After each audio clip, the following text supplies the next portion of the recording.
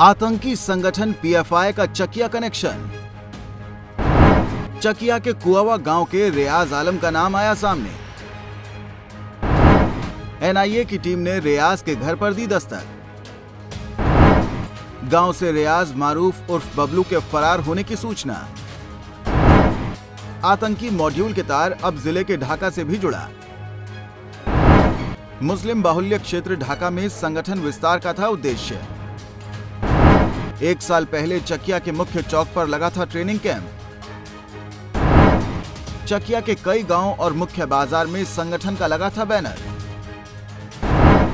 Chakiya police थाने के महज एक किलोमीटर में है ट्रेनिंग कैंप। पटना में सक्रिय संदिग्ध आतंकी संगठन पीएफआई के चकिया कनेक्शन का भी खुलासा हुआ है।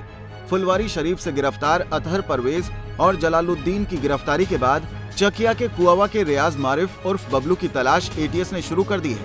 रियाज आतंकी संगठन पीएफआई का राज्य सचिव बताया जा रहा है, जबकि चकिया के ही तरनिया इमाद पट्टी का एक युवक जिला अध्यक्ष बताया जा रहा है। जानकारी के मुताबिक रियाज उर्फ़ बबलू को इस संगठन ने कई महत्वपूर्ण कार्यों की जिम्मेवारी सौंपी थी और पटना में प्रधानमंत्री नरेंद्र मोदी की सभा में आतंक फैलाने की भी महत्वपूर्ण ज़िम्मेदारी दी गई थी। रियाज उर्फ़ बबलू पहले भी कई देश विरोधी कार्यों में संलिप्त रहा है। और इस पर पहले से भी कई मुकदमे दर्ज हैं। जानकारी के मुताबिक रियाज मरहूम इस्लाम का बेटा है और ये तीन भाई हैं, जिसमें सबसे बड़ा भाई विदेश में रहता है और एक छोटा भाई कुआवा गाँव में ही मदरसे में बतौर शिक्षक का काम करता है।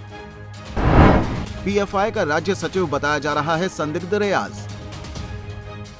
गाँव में रियाज का नाम वोटर लिस्ट में भी है, जिसका क्रमांक 924 और मकान संख्या 136 है। वोटर लिस्ट में रियाज की उम्र 36 वर्ष है और घर भी सामान्य ढंग का ही है। आपको बता दें कि जिन 26 संदिग्धों पर पटना में एफआईआर हुई है, उसमें रियाज का नाम चौथे नंबर पर है। सूत्र बताते हैं कि रियाज पर दरभंगा सहित राज्य के विभिन्न थानों में मामला दर्ज है। जानकारों की माने तो आतंकी संगठन पीएफआई की चकिया में अच्छी पकड़ है, जिसके कुछ सदस्य मोतिहारी में भी हैं। सारण के परवेज का पीएफआई कनेक्शन। फुलवारी शरीफ में हुई गिरफ्तारी और खुलासे के बाद सारण ज़िले के परवेज आलम उर्फ़ अरशद अली का भी नाम सामने आया है। पटना में दर्ज प्राथमिकी के अनुसार पीएफआई मिथिलांचल के राज्य कमेटी के सदस्य परवेज आलम उर्फ़ अरशद, पिता वकील मियाँ, सारण ज़िले के जलालपुर थाना अंतर्गत रूदलपुर का बताया जा रहा है। बता दें कि पटना के फुलवारी शरीफ में चल रहे आतंकी ट्रेनिंग कैंप का भंडाफोड़ होने और उसमें रियाज का नाम सामने आने के बाद कुआवा के ग्रामीण हैरान हैं। ग्रामीणों के अनुसार रियाज गुरुवार को कुआवा में देखा गया, जो शाम में अचानक गायब हो गया।